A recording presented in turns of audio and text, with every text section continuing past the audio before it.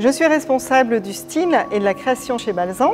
Donc, mon rôle consiste à développer les collections pour nos principaux marchés qui sont euh, l'office, l'hôtel et le home. Le parc de machines offre de larges possibilités technologiques pour développer des produits. la couleur, euh, donc le véritable ADN de Balzan peut être obtenu par la teinture en pièces des écrus, mais aussi par le fil teint.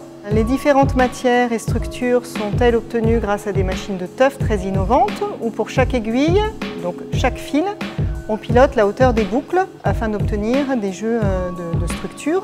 Pour les dessins et les graphismes, ils peuvent être imprimés numériquement par jet sur le support de Tuft, mais aussi grâce à des machines de Tuft très innovantes comme euh, notre dernière acquisition, la technologie Embroidery, qui s'apparente aux techniques du jacquard et de la broderie.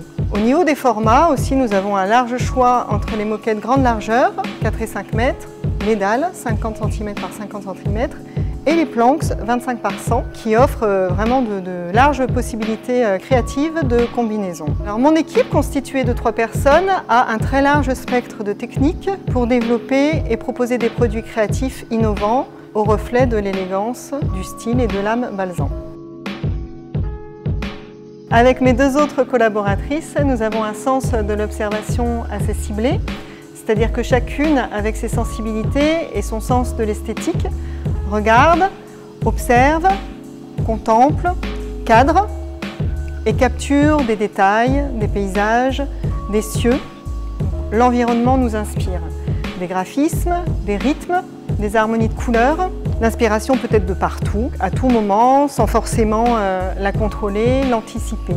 C'est presque naturel. La créativité, c'est d'abord regarder les choses différemment en s'éloignant des schémas et pensées traditionnelles. Nous avons toutes les trois eu très tôt la vocation de designer textile avec des passions partagées du dessin, du graphisme, des matières et de la couleur.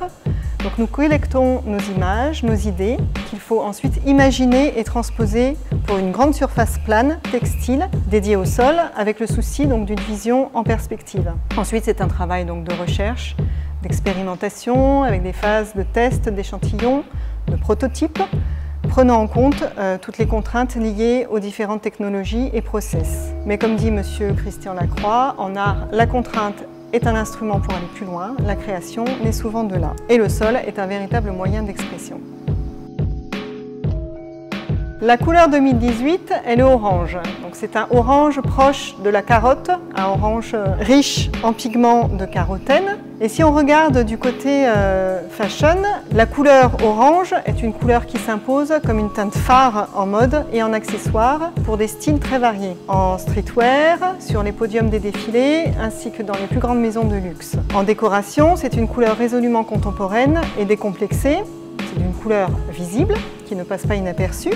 Elle est signe d'énergie, de dynamisme et d'audace. Elle est chaleureuse et facile à marier, contrairement à ce qu'on pourrait penser. Et elle se marie très bien avec l'ultraviolet, donc l'autre couleur de l'année. Elles se combinent toutes les deux parfaitement. Elle peut être utilisée en total look ou bien en touche par contraste pour des ambiances euh, plus graphiques. Le orange est une vraie source de vitamines pour dynamiser et égayer les lieux. Par exemple, un couloir d'hôtel un peu triste et monotone se transformera en véritable source de luminosité et de repères visibles. L'utilisation de la couleur orange aussi dans les bureaux et open space apporte énergie et gaieté. Et chez soi, le orange euh, réconfortera, apportera chaleur et bien-être des occupants.